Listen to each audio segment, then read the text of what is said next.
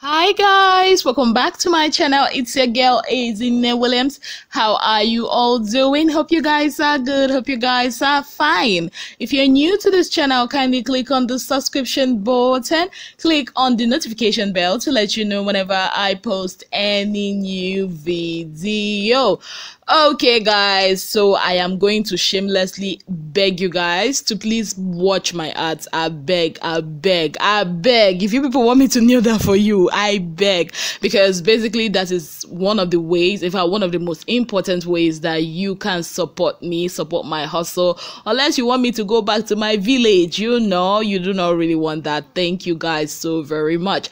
Okay guys so the video you saw was Neo. Thanking you guys for all the love you showed him yesterday because yesterday was his birthday and all that. And he says the party continues today. Yes, guys. And still on Neo and Prince's issue. A lot of people have come um a lot of people were of the opinion that Ebuka was taking sides with Prince. Now um this came these whole opinions of people came after the whole 45 minutes of you know trying to get Neo to you know apologize to Prince for his statement. And a lot of people were like ah Ebuka was taking sides and all that. What do you guys think? Do you think that Ebuka was taking sides with Prince? Or do you think that Ebuka was just being Ebuka? Because I know a lot of times when we thought that Ebuka was taking a particular housemate's side you know, and a lot of us, you know, came at him for that. Do you think that this was the situation? And um, some people were of the opinion that because Prince is his mentee, that is why he was taking Prince's side. I'd love to hear your opinion. Let me know what you think about this in the comment section. Okay, guys, so your girl, the one and only queen of highlights, Mercy Eke, has recently launched her Mercy Eke Foundation. And her foundation is basically a way of her giving back to the society. According to her, she says the foundation will cater to the less privileged, will help people that are, you know, um, in business, small business owners. And we also help people that have health challenges and all that. In fact, currently, um, from her recent post, she said she's got 5 million naira to support struggling small businesses. So if you know you have a business you're about to start or you already have a business, what are you waiting for? Go to her page and check the last post. You might be one of the lucky people who gets funded. Yes, guys. Now, away from Mercy Eke, your girl, the one and only Dora. Yes, OTTT1. Yesterday, she launched her summer collections of the MFC, that is my full chest lingerie. And I really, really, really love this collection because it caters to all sizes and all body types. And it has the swimwear, the loungewear, and um, I think, yeah, the bodysuits. And it featured this time around, it's not Dora, it's actually featured her younger sis, Ruth. So um, if you are an explorer and you've got money to, you know, spend on this summer because you got to, you know, enjoy enjoy safe in Dubai on a yacht in a tongue. if you know that video, you know what I'm talking about. So you go and get your own MFC set. Yes, guys, away from Dorathy, let's go over to the one, the only icons president Laycon. Like Laycon is making waves, like silent but powerful moves. Yes, guys, so Laycon got to perform all over me, yes, on YouTube. And guess where? Guess where? Guess where? Grammy awards. Yes the um grammy awards. I mean that's that's that's huge that's huge. Boy has gone international and I'm super, super excited for him. I am happy for this growth.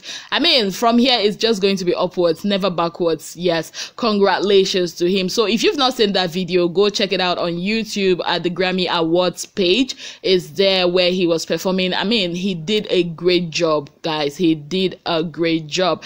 Now, still on some congratulatory mood, your girl Kaisha posted this and said, and I said, said yes. And everybody was busy saying congratulations and everything. Now, when a girl posts this, the first thing in your mind is, oh, she's got engaged. But now, with everything going on on social media, I am tired of saying you know, congratulations, and then coming out and somebody is telling me it's a prank. So please, Kaisha, tell us. I mean, I'm super excited if it's not a prank, if it's actually true that she said yes. I mean, she will be the second housemate from this season. At first, it was Lucy, you know, flaunting that ring. Now, Kaisha coming to say, oh, she's got the ring, or sorry, she said yes. I'm super excited. I hope and pray it's not a prank because if it is a prank, I will not be happy.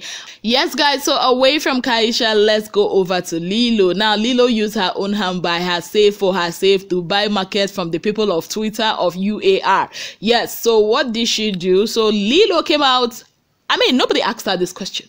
Nobody asked for her opinion. She just came out and said, Stop wearing fake things, especially shoes, bags, and wristwatches. It's annoying and disrespectful to people who pay a lot for the original. Ha! Voila! Okay, when I saw this, there were questions on my mind, but um, a lot of people started dragging her. I mean, trust Nigerian Twitter now.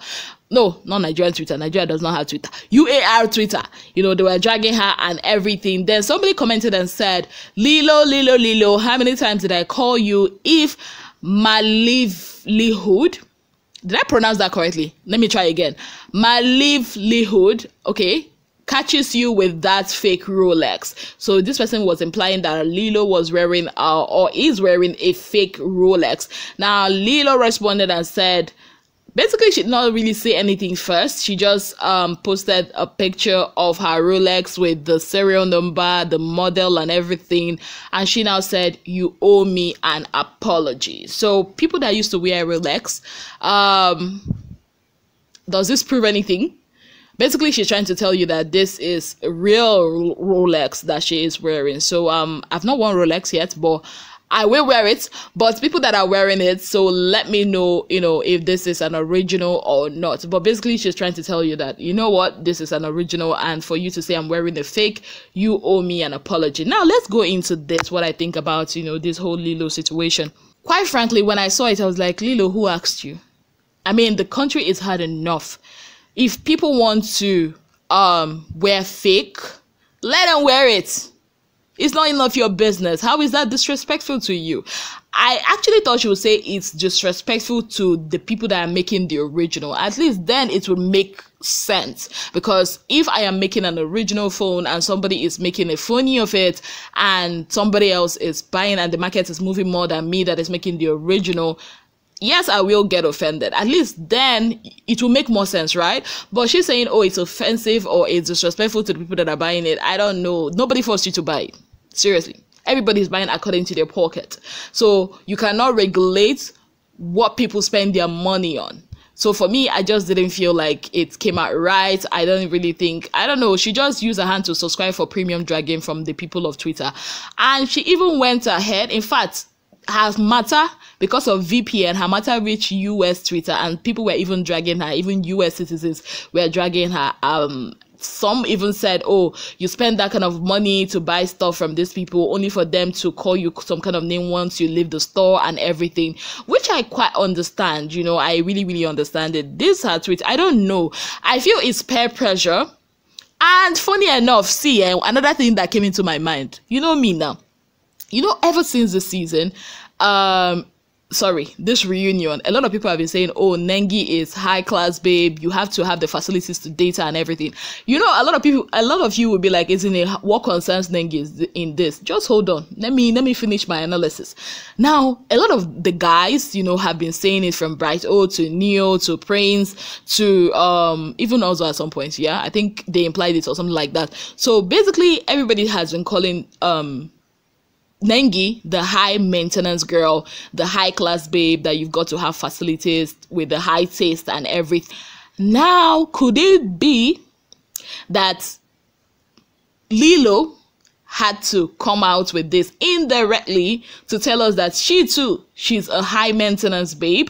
I mean, for her to even post that Rolex thing, and you all know Nengi got a Rolex some time ago, you know, trying to say, okay, I've got a Rolex, I'm a high maintenance babe, I'm a high class babe, you know, I need some facilities. This is the kind of the life I am living. I don't know if it makes sense, but this somehow I try to relate it because Big Brother Nigeria children, trust me, they don't just come out sometimes, most times. They don't just come out to say stuff. Sometimes what they say is interwoven with some event that happened or had had has already happened, you know, with their fellow ex-housemates. That is, you know, another way I've seen it. Maybe she's trying to tell us that, oh, you guys, I'm, I'm on the same pedestal with Nengi on stuff. And nobody's really arguing that. I mean, I've already known that Lilo is um, from a rich home. I've said it here before. So um, I don't know. I don't know what even came into her to say all that or, you know i don't really know what it is that came into her. So guys let me know what you think about this lilo situation. Do you agree with my analysis of her trying to you know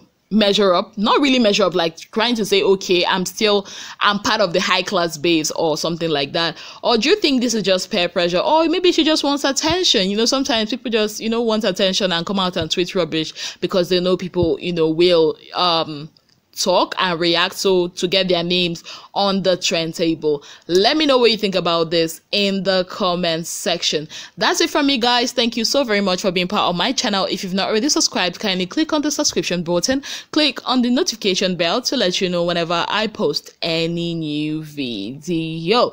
Till i come your way again I remain your darling girl, Ezinne Williams. Have yourself a beautiful day ahead. Bye, guys.